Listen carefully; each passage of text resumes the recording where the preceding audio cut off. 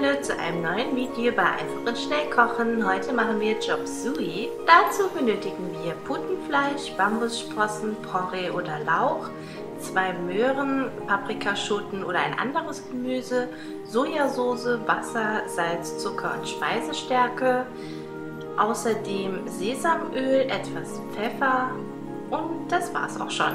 Die genauen Mengenangaben findet ihr wie immer in der Infobox. Zuerst kümmern wir uns um die Marinade für das Fleisch. Dazu vermengen wir Sojasauce mit Wasser und fügen Zucker, Salz und etwas Speisestärke hinzu.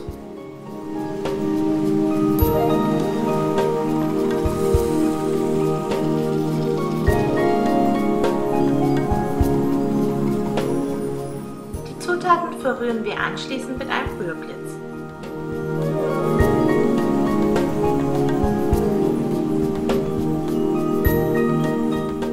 Das Fleisch wird in Streifen geschnitten und anschließend in der Soße mariniert.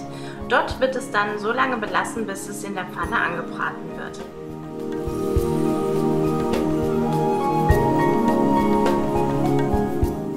Danach kann man sich um das Gemüse kümmern. Zuerst beschäftige ich mich hier mit dem Lauch, den ich in Ringe schneide. Die Paprika und die Karotten werden in kleine Stückchen geschnitten und die Pilze aus der Dose habe ich in einem Sieb abtropfen lassen. Die Soße vermengen wir erneut Sojasauce und Wasser. Dann fügen wir Zucker, Salz und etwas Pfeffer hinzu.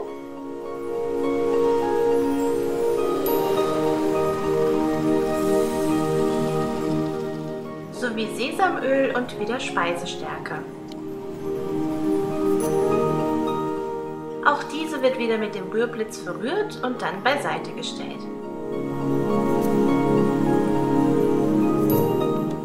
Als nächstes wird in einen Wok etwas Öl gegeben und das marinierte Fleisch angebraten.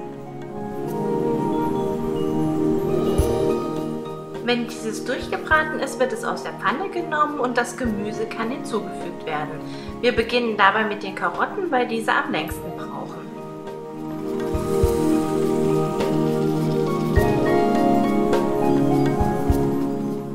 Wenn ihr dabei den Deckel auf den Wok macht, geht es umso schneller.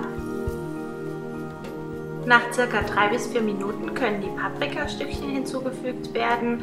Auch diese rühren wir erst etwas runter und geben dann wieder den Deckel drauf, dass sie ein bisschen Dampf garen können.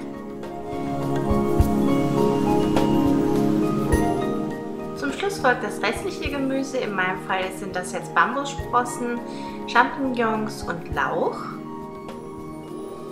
Das Gemüse vermengen wir dann nochmal gut miteinander und lassen es dann wieder unter den Deckeln nochmal ca. 5 Minuten schmoren. Ist die Wartezeit vorbei, kann das Fleisch untergehoben werden.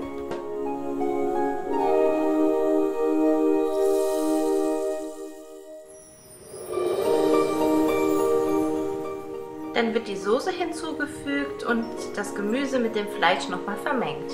Und dann schmort das Gericht nochmal ca. 3 bis 4 Minuten unter dem Wokdeckel. Wir haben das Chop Suey ganz klassisch mit Reis serviert. Ich hoffe, das Video hat euch gefallen. Ich wünsche euch Bon Appetit, viel Spaß beim Nachkochen und bis bald. Tschüss!